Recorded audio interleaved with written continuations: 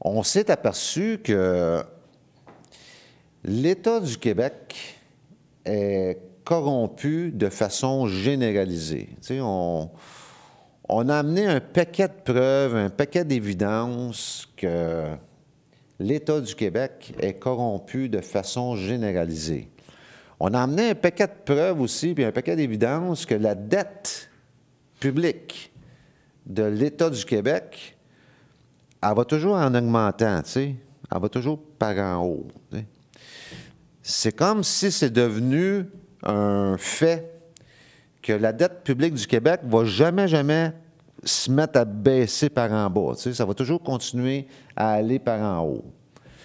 Jusqu'à ce que ça pète. Tu sais, parce que ça ne peut pas toujours aller par en haut puis pas péter à un moment donné. Tu sais, c'est comme une ballonne. Hein? Une, une dette, c'est comme une ballonne. On souffle là-dedans, mais à un moment donné, ça pète. Bon.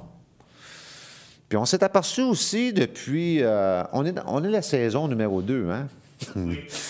on est en saison numéro 2, la sûreté de sa personne, saison 2. Puis on s'est aperçu depuis le début, depuis la saison 1, que on se fait voler. On se fait littéralement voler. De par la dette publique, surtout les intérêts de la dette publique, de par la corruption généralisée qui euh, règne présentement au Québec, puis euh, de par tous les détournements de fonds qui s'opèrent présentement, il y en a sûrement un présentement qui est en train de s'opérer, euh, comme Théo Taxi, Bombardier. Fait que on essaie de trouver un moyen de protéger notre stock parce qu'on a l'impression qu'éventuellement, on va se faire voler notre stock. On a l'impression qu'éventuellement, euh, nos biens vont être en danger. Parce que tout ce qu'on voit, tu as juste à aller, prends les dernières dix ans, là, tu sais, va voir ce qui s'est passé les dernières dix années avec les finances publiques, avec la dette du Québec, avec les euh, détournements de fonds à répétition qui se répètent tout le temps et tout le temps et tout le temps, euh, avec les tickets et les amendes qui font juste augmenter.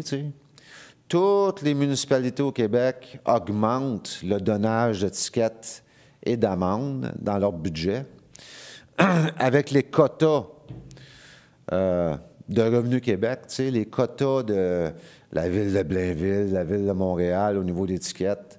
Tu sais, toutes ces choses-là mises ensemble nous donnent toutes les bonnes raisons de croire que notre stock est en danger, que nos biens sont en danger et que nos vies sont en danger.